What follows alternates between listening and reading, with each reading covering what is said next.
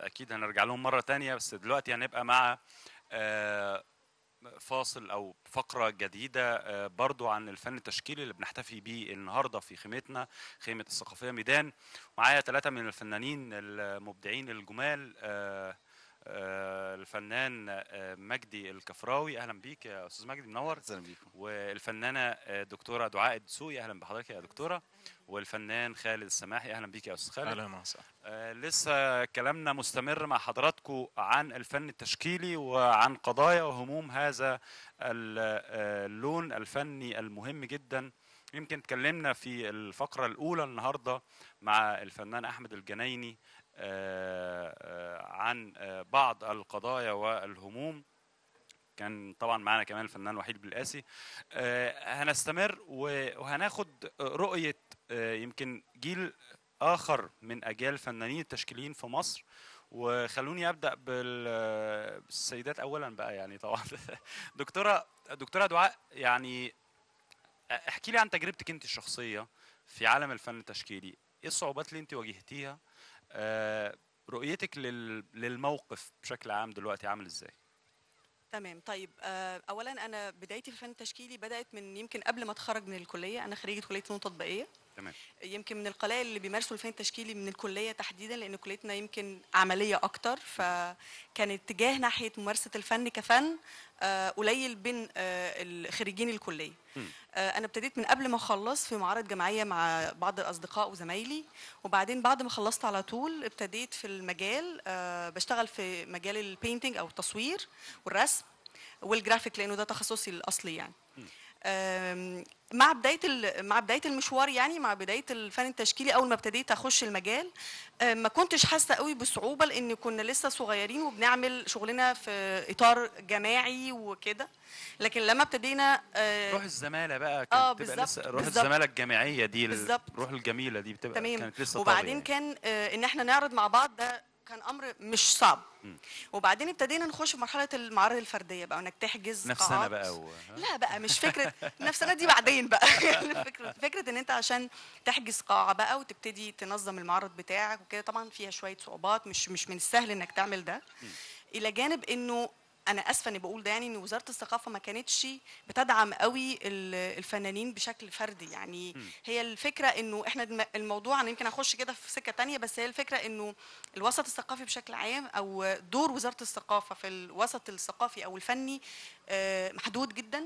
آه، ليهم الناس بتوعهم معلش أنا آسفة إني بقول الكلام ده بس دي مشكلة يعني آه، في مصر ده يعني, يعني بشكل رأي عام حضرتك رأي حضرتك بشكل إحنا عام. بنحترمه جدا ويهمنا نسمعه أصلا تمام لازم آه ما فيش مانع طبعا إن هم برضو يعني الناس اللي هم كانوا آه وزارة الثقافة بتحاول تدعمهم برضو فنانين كويسين وكل حاجة بس الفكرة إنه ما كانش فيه نوع من أنواع ال يعني هي دايرة مقفولة دايرة كده مقفولة. بالظبط. بتاعتهم يعني فكان أي حد آه، فنان خارج الإطار ده بيشتغل بشكل individual أو فردي أكتر كان ممكن بيواجه شوية مشاكل شوية صعوبات آه، يعني بس مش كتير قوي آه، برضو في الآخر شغلك هو اللي بيثبت نفسه وشغلك هو اللي بي- بيقول إذا كان من حقك تعرض أو لأ بالتأكيد. بس ده ك atmosphere عام يعني. صحيح. طيب آه خليني آخد برضو رأي الفنان خالد سماحي. ده عنده وعن- وعندك كمان تجربة مغايرة شوية إنك ب- بترسم مباشرة زي ما مكتوب قدامي بترسم مباشرة. أنا للأسف لم يسعدني الحظ إن أنا آه، آه، أبقى حاضر مثل هذه ال- المعارض اللي بتشترك فيها. بترسم مباشرة قدام الجمهور. خليني أتعرف أكتر على هذه التجربة وعلى رؤيتك برضو في نفس المنطقة اللي اتكلمت فيها مع مع الدكتورة دعاء. هو أنا عملت معاك حوارات من 15 سنة يمكن بس أنا مش عجوز. قوي كده. يمكن أكتر من كده. أنا في الحركة التشكيلية من حوالي 26 سنة. تمام؟ بعمل معارض وكده. وعملت معاك حوارات بس أنت ظاهر ناسي عشان بيبقى عندك كل يوم شغل بالعكس طبعا يعني بس. بس هو السادة المشاهدين ممكن يكون ما حدش فيهم شاف الحوار بتاعنا قبل كده فيعني هكلمهم عن حاجة ما, ما, شافوهاش ليه يعني؟ هو العموم أنا تخصصي فن البورتريه. طبعا. تمام؟ بيبقى برسم موديل من قدامي برسم يعني طوال السنوات اللي فاتت دي بعمل معارض تقريبا بمعدل معرض كل سنة. بيبقى شغلي في ده وتخصصي في ده. آه، أنا شايف إن الفنان مش محتاج دعم من حد. الفنان هو بيكتفي بموهبته بيبقى كل بيبقى عامل لنفسه target تمام؟ إن في title عايز يوصل له في عنوان عايز يوصل له. عايز يوصل في حاجة مثلا في البورتريه عايز يوصل في حاجة في اللوحة الكبيره في التجريد في أي فرع. عايز يبقى متميز في اللي. بيشتغل فيه يعني. بالظبط. زي صحيح. الشاعر أنت راجل عارف إن الشاعر علشان يبقى شاعر كويس لازم في البداية يمتلك أدواته تمام؟ ولازم يكتب نفسه. وبيشوف شبيه ليه. يعني. لا في البدايات بيشوف شبيه ليه. مم. بيتأثر مثلا محمود درويش أمل دنقل كده تمام؟ نظر قباني كده. بيبقى في سن التأثير. في بعد كده بتروح وبيبتدي يتفرد ويبقى ليه شخصيته. صحيح. تمام؟ نفس الكلام في الفن التشكيلي. بتشوف كل فنانين العالم في تاريخ الفن كله والفنان هي تجربة ذاتية جدا. يعني أنت بتقفل على نفسك المرسم بتاعك تمام؟ بتحتك بالحياة بتاخد منها اللي أنت عايز تاخده. مش هي اللي بتفرض عليك الموضوع ده طيب يعني طبقا هل- طبقا طيب معلش أنا آسف. المقاطعه مم. بس طبقا لنظرية الإعلام اللي موجودة دلوقتي مم. اللي هو بقى إيه خبط الضيوف في بعضهم وخليهم يعملوا كده حالة من مم. الحالات ال- مم. الدكتوره من شوية قالت وزارة الثقافة في عاملة مشاكل وما بتدعمش أنت قلت الفن مش محتاج تدعيم خلاص يعني لا بالعكس. عندي خلص يعني. لا لا لا لا ده كده الآخر. قناة اللي هو ما بين بعض. أنا على حاجة. أنا ودعاء أصدقاء جدا. آه. تمام وبنتفق في حاجات كتير قوي. بس هو ال- يعني أنا هقول لك على حاجة. هل بيكاسو مثلا كان وراه وزارة ثقافة؟ وراه كانت وراه الميديا خلي بالك. ريمبراندت كان عنده وزارة ثقافة فان جوخ. تمام؟ الفنان مش محتاج ال- الكلام ده. تمام؟ هل محمد عبد لما يجي بيعمل المزيكا بتاعته بتقف وراه تدعمه وزارة الثقافة ولا موهبه موهبته هي اللي بتقدمه وإصراره؟ يعني أنا أنا في تخيلي إن القضية معقدة جدا. فكرة إنه هل أنا بحاجة طول الوقت إلى مؤسسة تسند ورايا تزق ورايا ولا آه، آه، وده ممكن يصنع مني يعني حاجة؟ في في كل الأحوال يعني حتى لو أنا ما عنديش حاجة فعليا يعني يعني مثلا لو خدنا نموذج عشان نقرب الصورة شوية للسادة المشاهدين لعيب الكورة حتى لو كان هو ابن بيليه فبس ما بيعرفش فيعني أكيد مش هي مش هيكمل. حتى لو مؤسسات الدنيا كلها لو الفيفا خصص اللعبة مخصوص عشان خاطره فأعتقد مش هي مش هيكمل. بس في نفس الوقت هو برضه في في حاجة إلى من يسانده من يدعمه بشكل أو بآخر. يعني خليني برضه آخد رأي الفنان مجدي آه، آه، الكفراوي في هذا ال- الموضوع وكلمني كمان شوية عن تجربتك مع فن الكاريكاتير والدنيا ماشية إزاي معاك هو أنا مش برسم كاريكاتير حقيقة أنا برسم illustration في جريده روزا اليوسف بس ده مش معلش. بترسم إيه illustration في آه. جريده روزا اليوسف تمام آه، لكن ده مش كمان مش بس هو فنان تشكيلي وبعمل- الناس ال- اللي ثقافتهم محدودة زي حالاتي بياخدوه على انه. على إنه يعني كاريكاتير اللي يعني. هي ال- الرسوم الصحفية الرسوم التوضيحية تمام آه، كويس. آه، بس ده هو ده مش موضوع. أنا فنان تشكيلي آه، عملت أكتر من 12 معرض فردي وشاركت في أكتر من 200 معرض آه، جماعي آه، دولي وبره مصر وخارج مصر. لكن الحقيقة مش عايز أتكلم عن تجربتي أنا كفنان تشكيلي. تجربتي مش هتبعد كتير عن تجربة آه، خالد ودعاء آه، آه، إلا لو ضفت لها جزء إن أنا آه، يعني أساسا من قرية فعندي موروث شوية مختلف. لكن أنا محتاج نتكلم عن المشكلة الحقيقيه اللي إحنا بنتكلم فيها. وإحنا فعلا بصدد مشكلة حقيقية. المشكلة دي محتاجة تتقسم لجزئين. آه، مشكلة الفن التشكيلي بالنسبة للناس المتلقي للناس العاديين اللي مش متخصصين والمشكلة الثانية مشكلة المؤسسة الحكومية المتمثلة في وزارة الثقافة. آه، مشكلة الناس آه، يعني مش معقول ال- الناس البسيطة اللي هم جايين من إرث وتاريخ حضاري هو في الأول وفي الآخر بصري فني. صحيح. لما تيجي آه، تتعامل معاهم في إن آه، كل ما يجي حد يتكلم آه، آه، اولا طبعا أنت حصة الرسم كلنا عارفين آه، هي رايحة فين في في مرحلة بتروح عشان. ياخدوا حصة نحو حصة بالظبط. رياضيات. عارفين مصيرها. ايا كان هي بتروح فين. كويس. آه كمان عندنا مشكلة أكبر في آه مستوى النقد وحوارات الفنانين نفسهم والنقاد لما بيجي يكلموا الناس. دايما بيتكلموا عن وكأنهم بيتكلموا من برج عاجي على مرئي ولا محسوس ولا مفهوم. في حين إن نفس الكلام اللي هو مصطلحات ممكن يفهمها الفنان المتخصص م. آه ليه كلام موازي تاني ممكن نقوله للناس ببساطة وأنا كان ليا تجربة م. في أحد المواقع اني كنت بكتب ببساطة عن الفن التشكيلي كويس مصطلحاته و- بالظبط، آه، مصطلحاته دي- مفاهيمه والكلام ده بس ده- بأسلوب بسيط يخلي الناس ما ليه تنفرش موازي يعني. ليه موازي لغوي ممكن نختاره عشان نقدمه للناس. كويس؟ فما يفضلش الناس الصورة الثابتة عنده هو ما قدمته السينما المصرية في من صورة الفنان التشكيلي. آه في الأفلام المعروفة الفنان عيسوي واللي واللي بيتكلم على مرئي ولا محسوس. آه كل الناس لما تقول لحد إن أنت فنان تشكيلي فذهنه ما بيروحش أبعد من كده. آه. بس ودي مش حقيقة هو ينظر, لك نظرة ارتياب بالظبط يعني. بالظبط بالظبط بالظبط ده على مستوى ال- ال- الفجوة الحقيقية اللي طيب. حاصلة في النقد وفي ما- على مستوى وزارة الثقافة بقى في مشكلة أكبر كويس إن وزارة الثقافة نفسها في دول طبعا كتير آه، ما عندهاش وزارة ثقافه وعندها فنانين متميزين جدا. تمام. لكن هو هتقول هنا قاعدة المساواة في الظلم عدل. لو وزارة الثقافة مش موجودة كان هيبقى آه، ال- الدوائر اللي عاملاها وزارة الثقافة مش عايز أقول الشلالية لكن الدوائر المغلقة اللي بتأدي في الآخر لأن ما تتكلمش عن فن قد ما تتكلم عن آه، آه، يعني لو حسنت ما لفظ شوية هقول إنها سبوبة أو أي حاجة لأكل عيش. بالظبط بالظبط. هو هو هو في الحقيقة في الحقيقة أنا في, في ظني يعني لو لو ما كانش حد مستنير ويعني آه، بيحب الثقافة بجد زي الدكتور جابر عصفور وزي- وزير الثقافة دلوقتي بالظبط. ما كناش هنبقى هنا بكرة تاني لأن إحنا موجودين هنا في ضيافة وزارة الثقافة.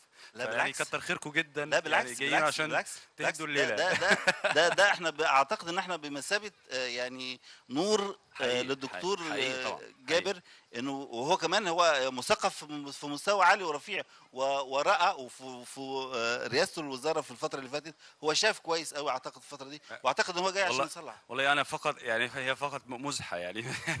مسالة مهمة جدا نتعرف على آرائكم أنتوا في قلب ال- ال- الحدث في قلب الحدوتة وعارفين تفاصيلها ومداخلها ومخارجها عارفين إيه الإشكاليات اللي بتواجهكم كفنانين وإيه المش... المشاكل اللي بتواجه ال- الفن التشكيلي بشكل عام في مصر.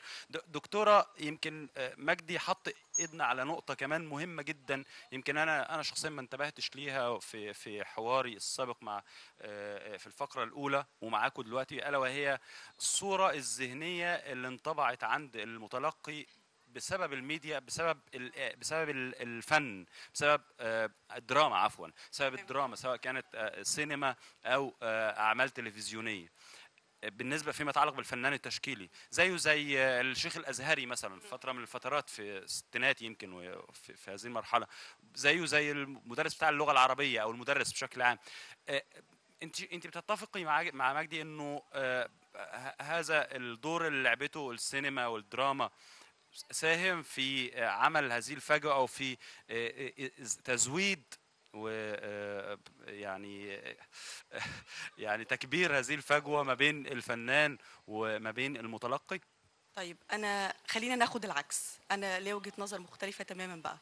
هو اللي حصل العكس إنه ضحاله العمل الثقافي في مصر في فترة طويلة أدى بالأمر إنه الميديا ما بقتش شايفة غير الصورة الكاريكاتورية دي بس عن الفنان. لأنه ملوش تواجد حقيقي في الشارع وسط الناس. الفن التشكيلي مش هو مش فن آه، جاليريهات ومعارض وقاعات مغلقة. إحنا كده يبقى بنضحك على نفسنا. ولو إحنا استمرينا في الاتجاه ده يبقى الفنانين هم اللي هيروحوا يشوفوا شغل بعض والناس مش هتستفيد. الفكرة إنه ما هو ده اللي حاصل تقريبا. بالظبط ما هو ده اللي إحنا بنتكلم فيه. هنا بقى ما إحنا بنتكلم على دور وزارة الثقافة في دعم الفنان إيه؟ مش إنها توفر له مكان يعرض فيه بس إنها تفتح له السكة إنه يساهم بفنه في إسراء المجتمع اللي هو عايش فيه. معلش يا يعني- دكتورة يعني, يعني إذا حضرتك شايفة إنه الفن وخلي خلينا برضو ناخد رأي الفنان خالد السماحي معانا في القصة دي وهخلي حضرتك تكملي بس بس نقطة نظام في النقطة دي في في الموضوع ده بالذات. إذا كان دور وزارة الثقافة حضرتك شايفة إنه في تقصير من- منها تجاه الفن التشكيلي بالذات في هذا الم... في في هذا الموضوع المسانده والبتاع طيب ما هو في فنون أخرى وأشكال أخرى من الثقافة أعتقد إن الوزارة بتساندها كويس. يعني زي مثلا الرواية زي ال... الشعر وده اللي أنا عايزه يعني ده اللي أنا عايز عايزه في في الحدوتة كلها.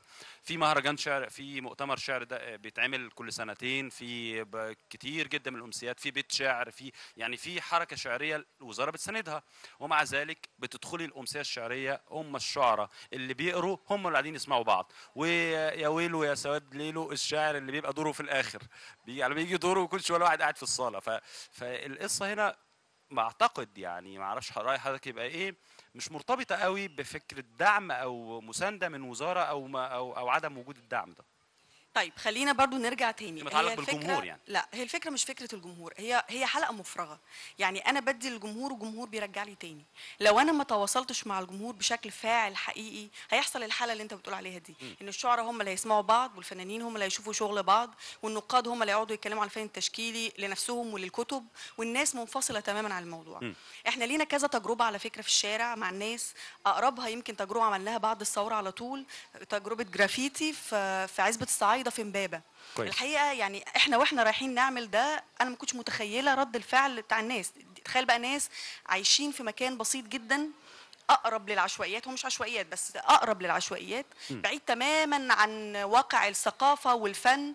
قد إيه حبونا بقى كفنانين هنرسم على بيوتهم وقد إيه دعمهم بقى لينا. بص هنا الدعم شوف طبعا أنا مش ما فيش مقارنة. بس بص بقى الناس لما تيجي شايفاك بتشتغل تروح جايبة لك مية وعصير يطلع يجيب لك ويطلع شاي بتاع مش عارف وكل. يوم يعزمونا على الغداء على طاولة عظيمة جدا آه على الغداء كل الفنانين اللي موجودين أكتر من 50 فنان مثلا ال ال ال البيوت كلها بتتكاتف وبيعملوا أكل عشان الناس طيب. دي لانهم مبسوطين بالحالة ومتفاعلين معاها. خليني أسأل خالد السماحي في ال- في النقطة دي. يعني التجربة دي كنموذج ليه ما بتتعممش وليه ما بتتكررش في أماكن تانية إيه اللي بي... إيه اللي بيحول دون ذلك؟ آه، هل كسل الفنان ولا خوفه؟ قلقه يعني من إنه هينزل مكان زي ده شبه شعبي أو شعبي يعني إن كان آه، من رد فعل الجمهور هناك ولا إيه بالظبط؟ يعني رأيك إيه في المسألة دي؟ هو السؤال موجه ليا تحديدا وأنا بعمل حدث الأيام دي بقالي تقريبا آه، شهر أو شهر ونص. وزارة الثقافة افتتحت مركز راتب صديق الثقافي تمام. في المنيب مظبوط. وسط منطقة عشوائية. تمام؟ دايما لما بنعمل مراكز ثقافية بنفتحها نقعد ندور على رواد ليها. تخيل إن بمجرد ما يعني. فتحنا بالظبط تبقى فاضية. وبندور الشعراء بيجوا يقعدوا يسمعوا بعض الفنانين التشكيليين نفس يقعدوا. يسمعوا بعض ومفيش جمهور. أنا فوجئت أنا مدير المركز دوت كويس. فوجئت إن بمجرد ما فتحنا وعلقت ورقة بره على الباب إن في كورسات لتعليم الرسم والنحت والخزف تمام؟ وشعر ومسرح والكلام ده للأطفال في المنطقة لقيت إقبال وصل لألف طفل. بيبتدي من عمر مثلا آه، سبع سنين لحد عشرين سنة خمسة وعشرين سنة. تمام؟ لدرجة أنا بقيت آه، ببص للحي اللي حواليا. فوجئ- فوجئت إن الناس مش متاح ليهم في منطقة عشوائية إنه يودوا ولادهم نادي. مش متاح ليهم إن فده بقى بقى المتنفس مثلاً. فلا لا فوجئت إن الناس دي بتحب الفن بس ما اتفتح لهاش باب. ما حدش عودهم إن هم يروحوا جاليري. الناس بتخاف تروح الجاليري ده لا يكون ليه تذكرة. رغم إن إحنا فاتحين ال- المعارض مجاني ده إحنا ناقص كمان ندفع فلوس للناس عشان تيجي. تمام؟ بس فوجئت إن فعلا انزل للناس في منطقة عشوائية المصريين على فكرة بيحبوا الفن جدا. وجواهم جينات وراثية للفن بشكل غير عادي. نرجع بقى لموضوع دور وزارة الثقافة. إيه اللي أنا عايزه منها كفنان تشكيلي؟ أنا مش عايز حاجة من وزارة الثقافة أنا عايز وسط وجو. بمعنى أنا عايز متاحف. يعني ما يبقى يبقى عندي على الأقل 20 30 متحف فن تشكيلي لأجيال كتيرة. قديمة أوروبا مصر آه، رواد. ألاقي المتاحف دي كلها مفتوحة أخش فيها أتفرج على لوحات عدد كويس استمتع برضو من المتاحف أستمتع. يا ريت تزيد ويا ريت اللي لسه مقفول يتفتح. وأتوقع إن ده في الخطة هيبقى موجود.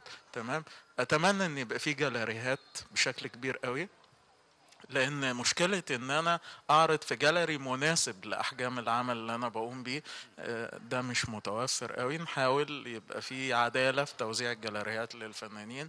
كويس. أتمنى إن يبقى في إمكانية لو أنا مش قادر كفنان تشكيلي ناشئ إن أقدر أسافر بره أوروبا فرنسا إيطاليا. إيه المانع إن أنا أجيب فنانين إيطاليا يعملوا معرض عندنا في جاليري كبير في قاعه كبيره هنا في مصر؟ فنانين فرنسا أجيبهم من بره تمام؟ فجبت لهم فنانين العالم وأطلع الفنانين بتوعنا بره احتكاك يعني تبادل خبرات ما يبقاش في قوقعة على نفسنا وانعزال تمام؟ يبقى في اطلاع اللي بيحصل في العالم.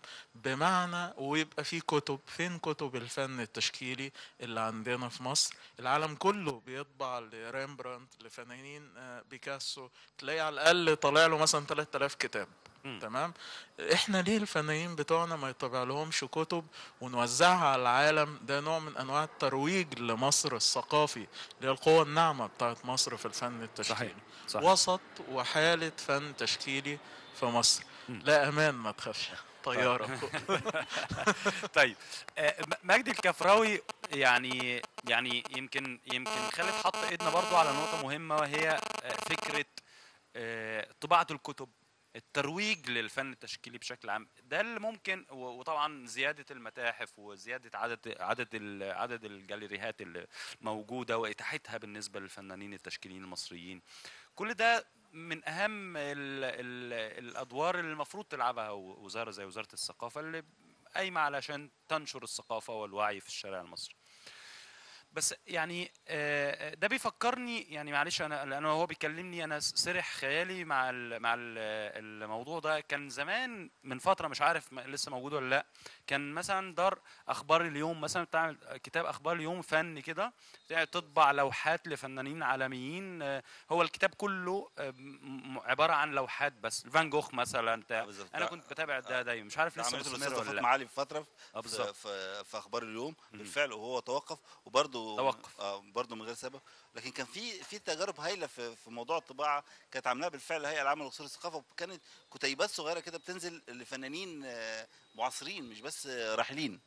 آه، ده بتوزع. بس إحنا آه، الحقيقة إن إحنا دايما كنا لحد دلوقتي كل المثقفين وكل الناس بتطالب بتجديد الخطاب الديني. أنا بطالب بتجديد الخطاب الثقافي. إحنا عايزين أصلا الخطاب الثقافي يوجه لمن وكيف. مش معقول أفضل أقول للناس فن تشكيلي. والناس م- م- م- دماغها رايحة للوحة وال- والتمثال لكن مم. ليه ما أقولش للناس ببساطة شديدة جدا إن الفن التشكيلي آه، كلمة تشكيل من قابلية الشيء لأنه يشكل كلنا بنمارس الفن التشكيلي كلنا جوانا هذا الفنان صحيح. إن لم يمارس كلوحة أو أو فعل آه، آه، جمالي متحفي. لكن من ساعة ما كل واحد فينا بيصحى الصبح قدام المراية فهو قدام فريم فاضي هو هي دي اللوحة هو- وهو شايف حد في اللوحة فيبدأ يجمله عشان ينزل يقابل الناس بأنسب وقت. ليه ما نكلمش الناس ببساطة؟ بدل ما أقول له آه، أنا التكوين لازم يكون فيه بؤرة ومحور ونقطة هروب ونقطة إيه ده إيه ده إيه ده؟ لا ما أنتوا اللي بتعملوا وانتوا اللي عملتوا ده هو إحنا اللي عملناه يعني أنا أنا مالي عم. هو هو ده هي دي الرسالة.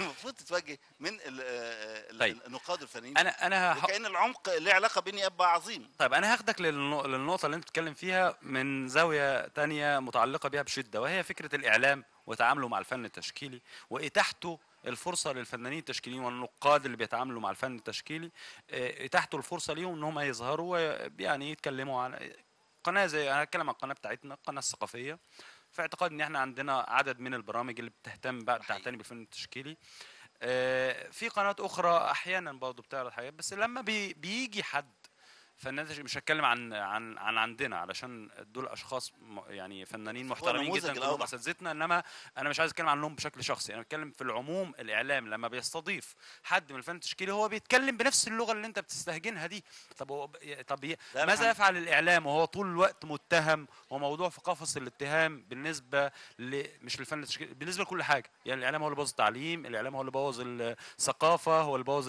هو اللي بوظ الإعلام نفسه بالعكس التجربة اللي عاملاها آه، آه، الثقافية آه، مش بس دلوقتي ال- النموذج اللي بيعمله الأستاذ الفنان الكبير طه القرني كمان النموذج اللي كان عامله قبل كده الدكتور صلاح عناني صحيح. نماذج هايلة جدا وبسيطة جدا وأنا شخصيا كنت مستمتع. لكن هو المشكلة في إن ليه ما بياخدش مساحة في آسف جدا بيكون دايما وقت العرض بتاع الحاجات ديت يمكن ما بيكونش مناسب في في في حاجة حلوة حاصلة مش عارفين برضه نقدمها إزاي. لسه في لسه اتفضل يا دكتور. لسه في مشاكل في عرض وتناول يعني موضوع الفن التشكيلي في الإعلام. التناول تناول موضوعات الفن التشكيلي بشكل عام مش محتاجة يعني إحنا يمكن آه، دلوقتي دي آه، ده حوار وإحنا بنقول آرائنا.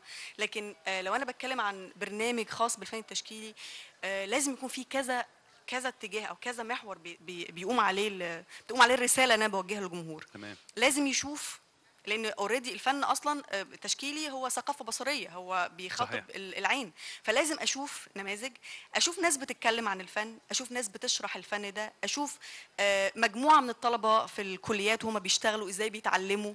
ده على فكرة متاح جدا. إحنا عندنا يعني ناس ممكن تعمل الشغل ده بشكل كويس جدا. وفي نفس الوقت طريقة التقديم والتناول لازم بيبقى آه، عصرية صحيح. جديدة حديثة. ما يبقاش شكل الكليشيهات بتاعت زمان إنه أجيب واحد يتكلم ويعلق على لوحة يعني لازم إحنا نخرج من الإطار. بعدين ما ننساش إن في حاجة اسمها ال technology دخلت وحتى دخلت الفن نفسه ال media art والكلام ده دي أنواع حديثة من الفن بقالها كتير كمان. يعني إحنا خلاص إحنا عدينا من المرحلة دي ودخلنا في في في, في مراحل أخرى. ولسه في مصر ما فيش احتكاك.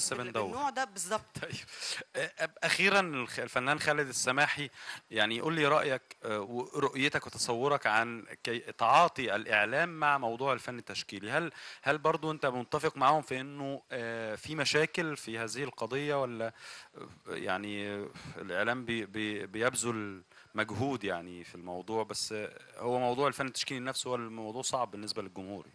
هو في طرح أنا بطرحه ويمكن دي مش أول مرة أطرحه.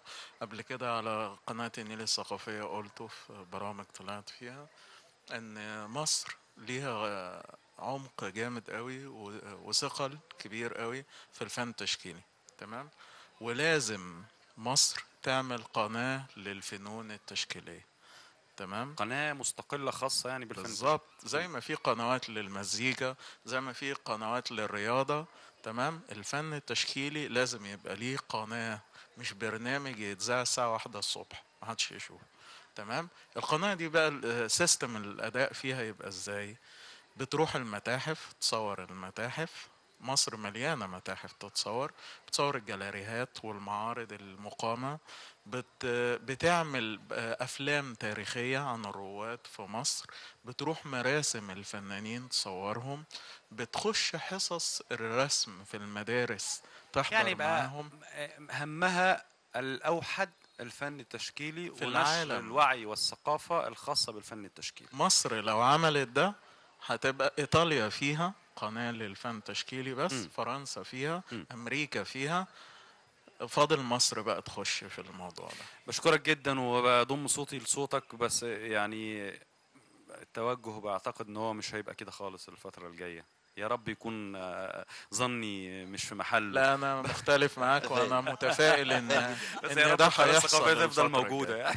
لا إن شاء الله هيحصل فنان شاء خالد. السواحي بشكرك شكرا جزيلا. بشكر كمان دكتوره دعاء الدسوقي بشكر كمان الفنان آه، طبعا الفنانة الدكتوره دعاء الدسوقي بشكر كمان الفنان مجدي الكفراوي. شكرا ليكم ونورتونا النهارده. وبدعوكم باستكمال ال- بقية فقرات آه، حلقتنا النهارده وخيمة الثقافية ميدان.